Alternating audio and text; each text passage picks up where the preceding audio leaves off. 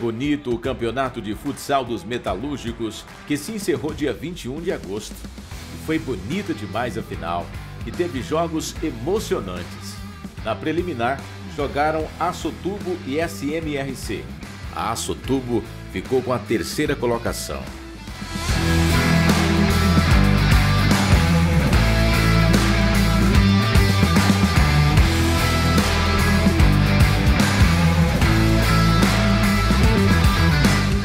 Na partida final, entraram em quadra as equipes da Dina e Feder. Que jogaço! Resultado: 4 a 3 para Feder, que se torna bicampeão do futsal metalúrgico.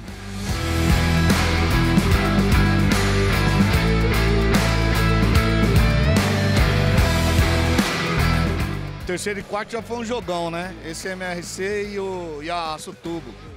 E o, o, campeão e o vice aqui hoje foi um jogão mesmo. Uma reedição, como você falou, um campeonato maravilhoso.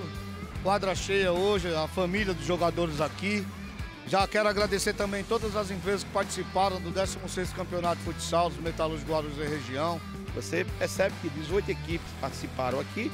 Você viu aqui a arquibancada com bastante gente, de diversas empresas.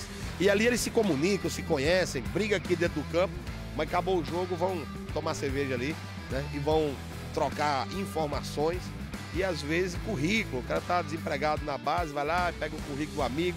Aqui é o lugar deles fazer amizade, fazer uma, né, um, um, uma interação entre eles.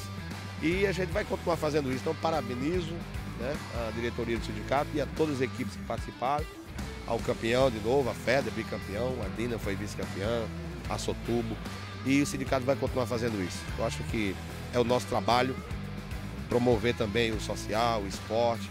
Eu tenho que agradecer mesmo a minha equipe, o desempenho aí, totalmente, sempre. E eu fiz a minha parte ali atrás, né?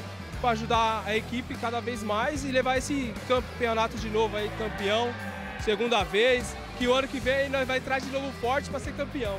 A gente procura usar o elenco todo, na verdade, né? Tanto o pessoal da reserva, do banco de reserva, como os titulares. É, não, não, procuro não querer destacar um só, entendeu? Eu procuro é, elogiar o meu elenco todo, entendeu? O pessoal da Dina lá, mano, é o pessoal é sem palavra. E eu tenho que agradecer a eles e o pessoal da Féria que me deu a oportunidade aí, você é louco. E você é louco, isso aqui é um orgulho, mano, é um orgulho, você é. Parabéns, agora vai lá pra festa. Obrigado, obrigadão, pessoal. Tamo junto e bom domingo pra vocês aí. Tamo junto, rapaziada. Obrigadão. Cara, artilharia acho que é é grupo, né? Eu, se eu fui destaque com a artilharia devido ao, ao time, aos meus companheiros, que fez que eu chegasse a 14 gols e acabar ter ganhado o prêmio de artilheiro. Só que a finalidade em si, é, o objetivo é, era o título, né? Ser campeão. Isso aqui é um mérito individual, mas felizmente a gente não conseguiu o, o objetivo de ser campeão. Mas nosso time está de parabéns, tenho que parabenizar o nosso grupo, sempre foi unido do começo ao fim. Posso retirar o reconhecimento da equipe adversária, que é uma equipe boa, é, é atual, era atual campeão e tinha que ter respeito também ao adversário. Nós estamos aí chegando tal para disputar o terceiro, não conseguimos passar para a final, mas estamos aí se dedicando para nos próximos nós estamos chegando aí na final aí. Bastante orgulhoso dessa rapaziada aí que comprou a minha ideia, né? De ter um time lá dentro que era coisa que não tinha a própria empresa, ela teve um pouquinho de, de receio de colocar um time para jogar aqui, porque não tinha, não vinha de bons resultados em outros, outros lugares, né? E, e o pessoal, meu, me abraçou, teve, veio com, com vontade, a gente conseguiu montar uma boa equipe para poder chegar aqui e fazer bonito e representar o, a, a Sotubo do, da maneira correta, da maneira que ela tem que ser representada. É primeiro ano, a montagem sabe como que é, junta aqui, junta ali, amigos e 100% trabalhamos na mesma empresa, então acho que é, é essencial, é importante a gente levantar esse ponto.